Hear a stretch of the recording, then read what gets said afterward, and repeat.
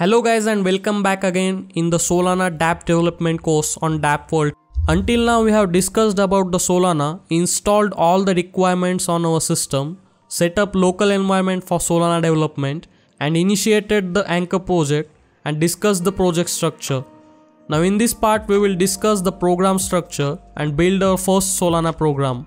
Open the Anchors project lib.rs file. Here you can see the code as follows. Let's see what's happening here one by one. Here we are importing the tools provided by Anchor. In Rust, import is done using use keyword.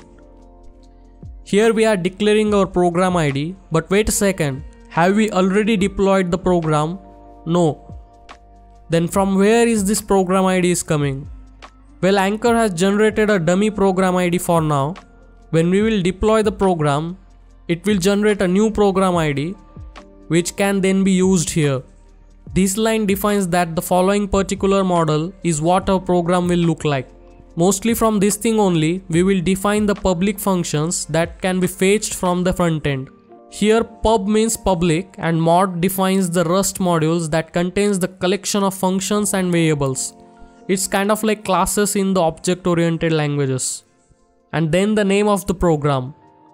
And lastly, the initialize function which accepts context and returns the result. Right now this function is empty, you will understand the syntax better when we move forward. This is the line which is most interesting as well as confusing for the beginner. The bottom line specifies the structure initialize, but what is derived accounts? Well, Solana do not store the data in states like smart contracts in Ethereum, Instead, it saves the data in accounts. We will discuss this in later parts of this course. For now, just remember this is the account which will store the data. In the next part, let's add some couple of lines of codes to build the first Solana program. See you in the next tutorial.